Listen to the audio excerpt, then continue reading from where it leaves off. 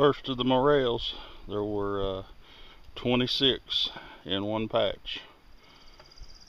Pretty nice ones, a couple small ones, but overall, pretty decent sized ones. Hope you're getting out, enjoying the woods. Thanks for watching.